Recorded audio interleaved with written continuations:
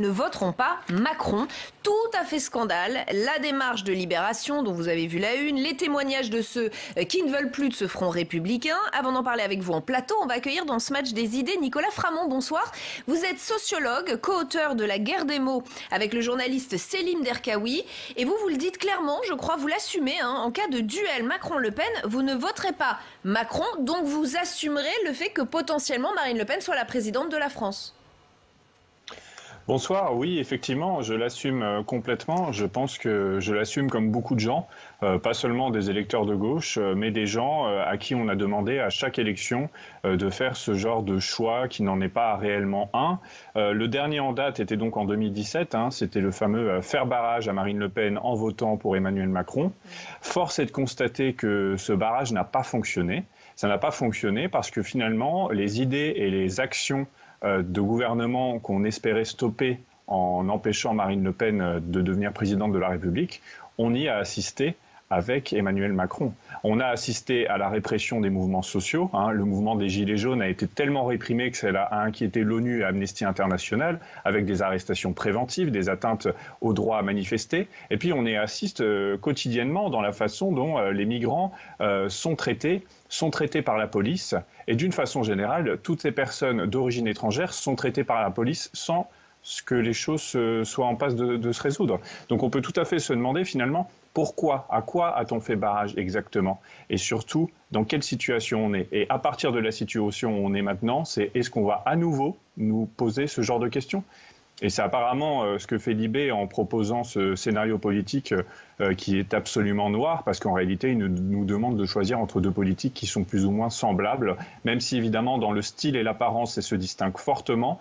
Dans l'action sur les populations, sur les syndicalistes, sur les travailleurs, sur les personnes euh, non blanches ou si les personnes réfugiées, euh, finalement, les résultats euh, se ressemblent beaucoup. Nicolas Framont, euh, avec cette démarche, est-ce que vous n'avez pas peur de braquer un certain nombre d'électeurs qui se posaient potentiellement la question de voter à gauche et qui, en voyant cette démarche, se disent non, non, mais là, je ne me reconnais pas du tout dans ce qu'il est en train de dire et du coup, n'iront pas voter à gauche. Est-ce que vous ne perdez pas des électeurs à gauche en faisant cette démarche?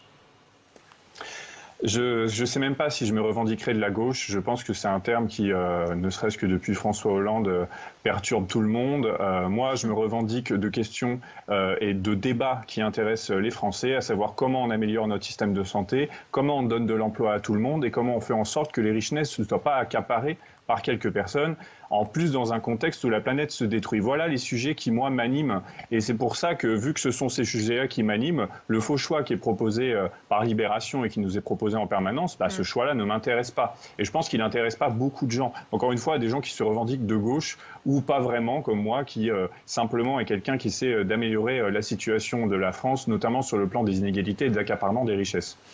Vous, avez compris que tout le monde, enfin tout le monde, que beaucoup s'acharnent sur, Libération avec cette démarche. Euh, où vous avez le sentiment que Libération est en train d'extrapoler un mini phénomène ou euh, Libération a vraiment mis le doigt sur quelque chose qui est en train de se passer dans cet électorat?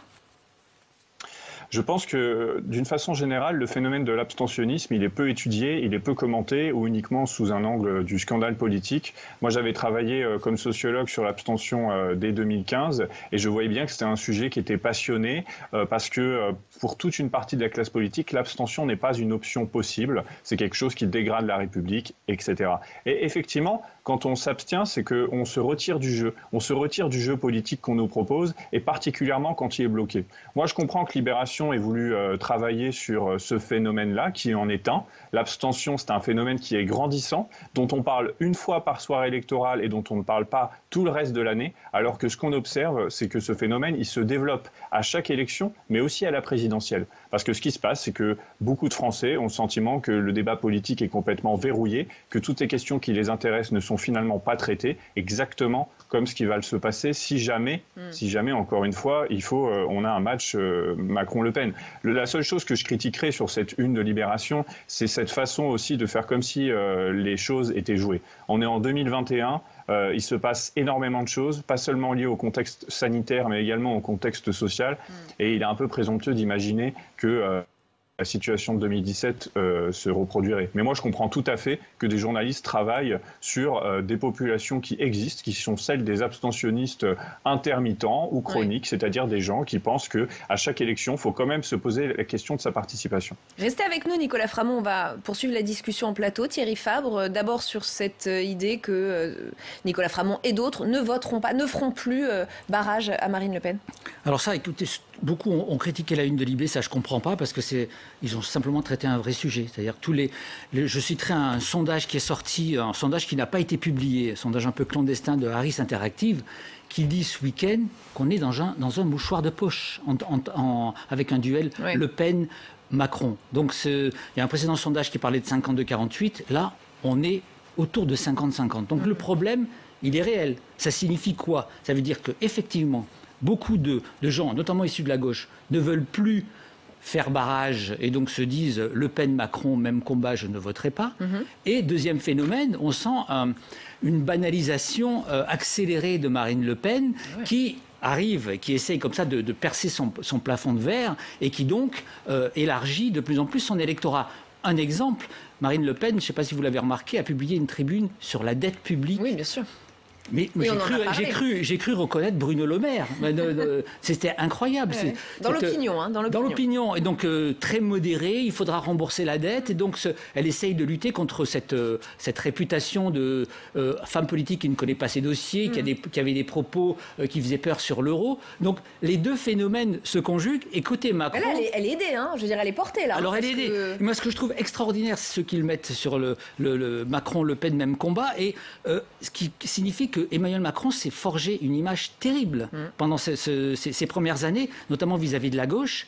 Et alors, on peut, on peut la déplorer, cette image, parce que je trouve qu'il y a un excès. Quand les, ce côté gauche, on a l'impression que côté social, Emmanuel Macron n'a rien fait, alors que si on liste les mesures qui ont été euh, mises en place, que ce soit côté école et même que ce soit côté redistribution avec des gilets jaunes, on fera le bilan à la fin du quinquennat, on pourrait se rendre compte que la redistribution sous Macron a été importante contraint et forcé, mm. mais enfin il a augmenté les minima sociaux, la prime d'activité, la taxe d'habitation a été supprimée, mais simplement son image dans qui s'est cristallisée, elle est catastrophique, parce qu'elle est cette image de président des riches, et donc c'est ancré. Et pour la gauche, ce n'est que le président des riches et toutes les mesures sociales. Il y a la question policière aussi d'ailleurs. Plus les violences policières qui s'ajoutent, mais en matière économique et sociale, c'est ce qui ressort. Mm. Et, effectivement, même s'il a fait un certain nombre de choses, elles n'apparaissent absolument pas aux yeux de l'électorat de gauche qui a voté pour lui. Étienne Gérard Oui, je de prime abord, je suis toujours assez circonspect quand on met un signe égal entre les pratiques politiques et le programme politique euh, d'Emmanuel Macron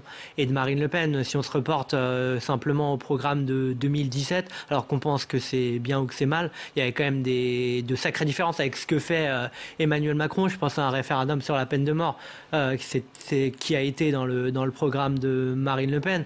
Je pense à un référendum sur la sortie de l'Union européenne qui a été dans le programme de Marine Le Pen. Je pense à une présomption de légitime défense euh, pour les policiers, puisque Nicolas Framont euh, parlait de violence policière. On peut peut-être pas mettre un signe égal entre ce que fait Emmanuel Macron et ce que préconisait euh, Marine Le Pen. je pense à l'expulsion d'un certain nombre de fichiers qui figuraient dans le, dans le programme de Marine Le Pen. Mhm. les programmes ne sont pas semblables. Bon, voilà. Cela étant, ce qui affleure dans ce débat, et c'est quand même et c'est intéressant, moi en tout cas c'est comme ça que je le comprends, mm. c'est une demande, une demande très vive d'un vrai débat politique aux prochaines élections et qui ne soit pas cadenassé par, ce, par cette présence de Marine Le Pen et qui oblige à finalement se déclarer pour ou contre et ne pas parler mm. euh, d'économie, de social, de sécurité, de mode de vie.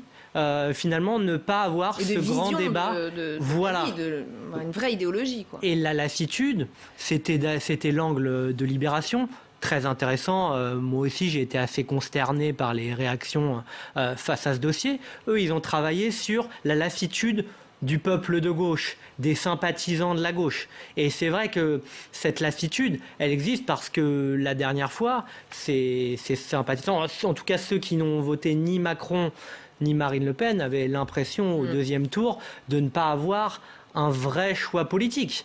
Euh, donc il y, a, je comprends le, je comprends le discours de, quelqu'un comme Nicolas Framont qui se situe euh, a priori dans cet espace-là, parce qu'il n'y a pas, il a pas d'intérêt aujourd'hui à dire je vais faire barrage à Marine Le Pen, parce que c'est accepté et placé comme un fait acté qu'il n'y aura pas d'élection mm. en 2022, que Emmanuel Macron et Marine Le Pen seront qualifiés et qu'il faudra revoter pour Emmanuel Macron une nouvelle fois quand on vient de cet espace politique-là. Donc à gauche, aujourd'hui, ne serait-ce que par intérêt politique, et c'est normal, c'est aussi ça la compétition électorale, il n'y a aucun intérêt à clamer haut et fort qu'on va revoter une nouvelle fois Emmanuel Macron.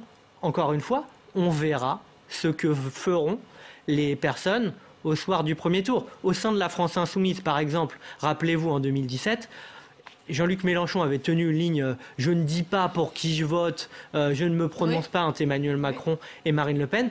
En réalité, quelques semaines après l'élection, je pense à quelqu'un comme Alexis Corbière, qui est devenu député, avait dit, euh, elle avait dit que lui, à titre personnel, avait voté Emmanuel Macron. Donc, il y a les consignes de vote officielles des états-majors politiques pour des raisons politiques et il y a ce que feront les gens en leur âme et conscience le jour de l'élection. Nicolas Framont, vous voulez conclure en quelques secondes?